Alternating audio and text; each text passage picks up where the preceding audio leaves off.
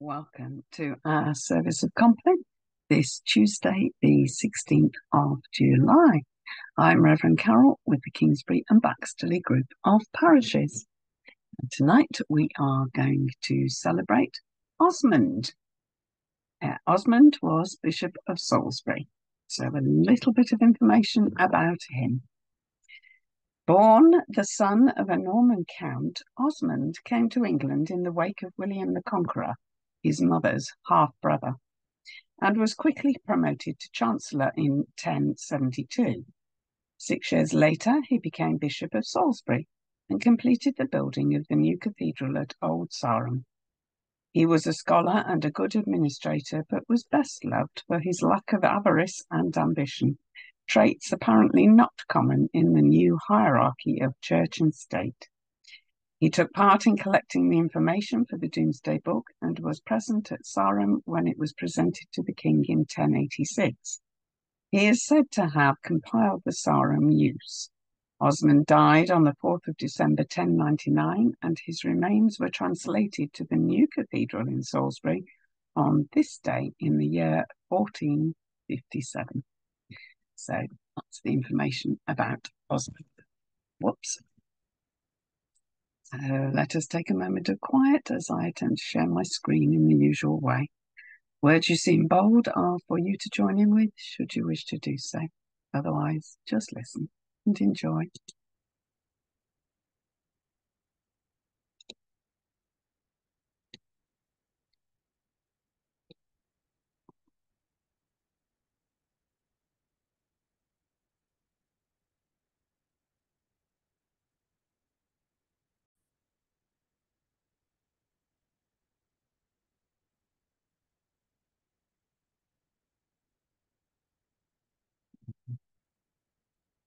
So, Osmund, Bishop of Salisbury, 1099.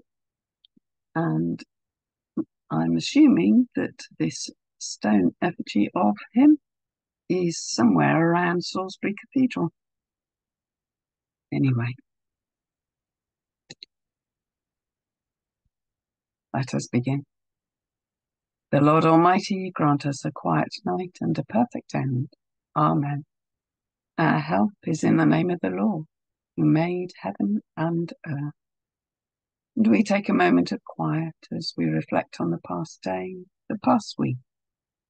Bring our thoughts and concerns to God, knowing how much we are in need of His grace and mercy.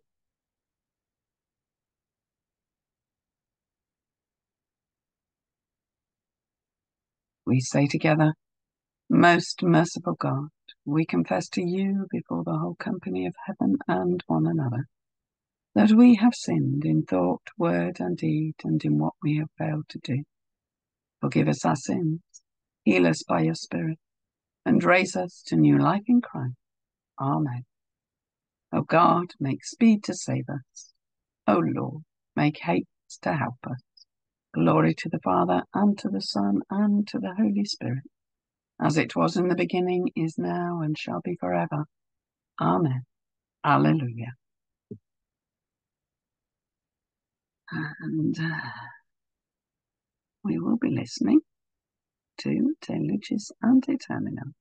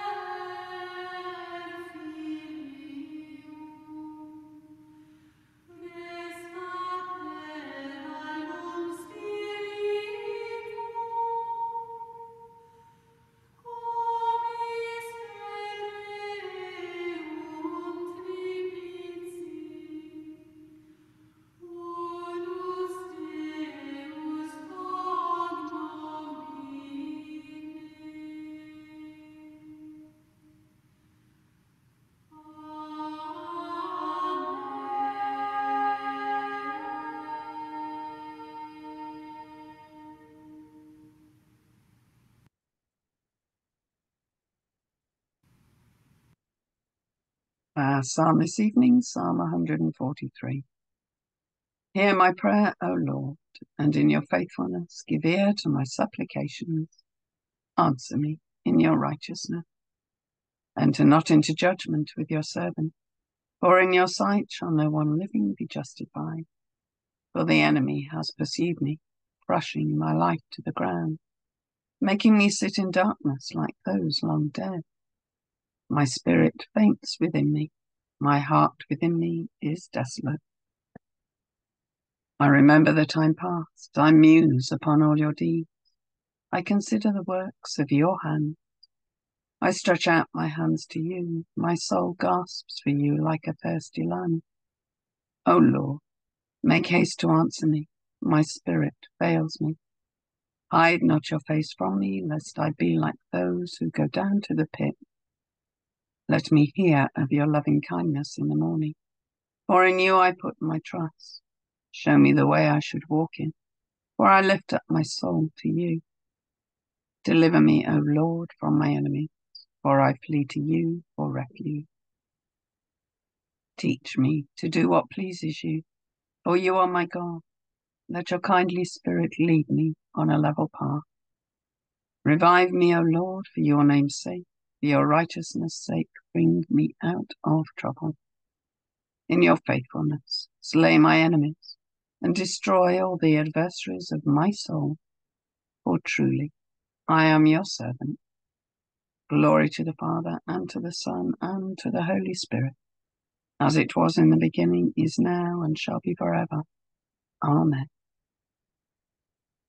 Our scripture reading tonight comes from the Gospel of St. Matthew, chapter 11, starting at verse 28. Jesus said, Come to me, all you that are weary and are carrying heavy burdens, and I will give you rest. Take my yoke upon me and learn from me, for I am gentle and humble in heart, and you will find rest for your souls. For my yoke is easy, and my burden is light. Into your hands, O Lord, I commend my spirit. Into your hands, O Lord, I commend my spirit. For you have redeemed me, Lord God of truth. I commend my spirit. Glory to the Father, and to the Son, and to the Holy Spirit. Into your hands, O Lord, I commend my spirit. Keep me as the apple of your eye. Hide me under the shadow of your wings. Save us, O Lord, while waking, and guard us while sleeping, that awake we may watch with Christ, and asleep may rest in peace. We listen to Harpa Dei's version of the Nunc. Salva nos Domine vigilantes, custodi nos dormientes, vigilemus cum Christo et requiescamus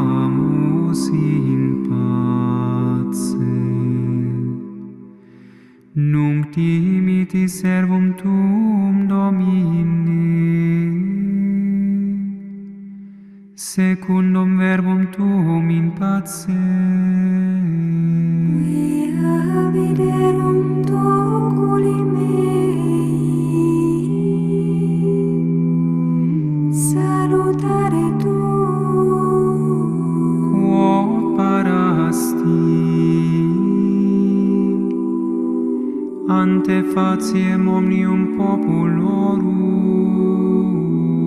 Lumina revelationem gentium, et gloriam plebis Tue Israel. Gloria Patri et Filio, et Spiritui Sancto,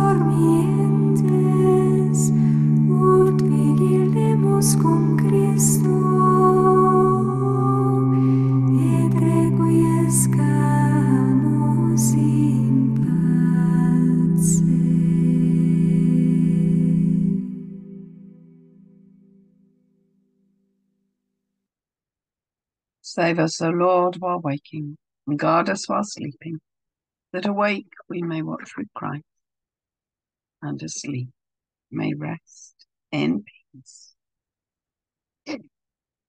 For the rule of justice and the triumph of mercy, let us pray to the Lord. Inspire and strengthen the church to speak out against evil and not to fail in the face of opposition. Give to all Christian people the grace to endure when their faith is tested and to bear witness to the truth. Guide and correct those in authority, that their power shall not be abused and the innocent shall not suffer. We continue our prayers for all places of war and conflict, including Israel and Gaza, Ukraine and Russia. Forgive those who support evil policies through fear or ambition, and give them courage to work for good. Shield us, our families and friends and neighbours, from all anger and violence, whether it comes from among us or from outside. Bless those who have influence in this community and give them the will to work for the common good. Have mercy on all who suffer from injustice, on the weak and vulnerable who are in the hands of oppressors. We pray for all those who have asked for our prayers at this time. Whatever their suffering, be close to those who suffer for declaring and practicing their faith, and save them from their persecutors. We remember with thanks those who have borne witness to their faith even unto death, remembering particularly Monica Payton and Tony Underwood. May their witness be our example of constancy until we come to share with them in the life of heaven. We offer our prayers through Christ, the hope of all who suffer for his sake. And the collect. Lord of all power and might, the author and giver of all good things, graft in our hearts the love of your name, increase in us true religion, nourish us with all goodness, and of your great mercy keep us in the same. Through Jesus Christ, your Son, our Lord, who is alive and reigns with you, in the unity of the Holy Spirit, one God, now and forever. Amen. And as we come to the ending of the day, let us pray with confidence as our Saviour has taught us. Our Father, who art in heaven, hallowed be thy name. Thy kingdom come, thy will be done, on earth as it is in heaven. Give us this day our daily bread, and forgive us our trespasses as we forgive those who trespass against us. And lead us not into temptation, but deliver us from evil. For thine is the kingdom, the power, and the glory, for ever and ever. Amen. In peace we will lie down and sleep. For you alone, Lord, make us dwell in safety. Abide with us, Lord Jesus. For the night is at hand and the day is now past. As the night watch looks for the morning, so do we look for you, O Christ. Come with the dawning of the day, and make yourself known in the breaking of the bread. The Lord bless us and watch over us. The Lord make his face shine upon us and be gracious to us. The Lord look kindly on us and give us peace. Amen.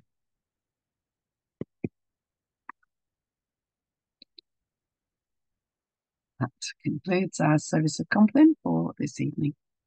I wish you all a happy, peaceful, and quiet night, and look forward to seeing you again next week.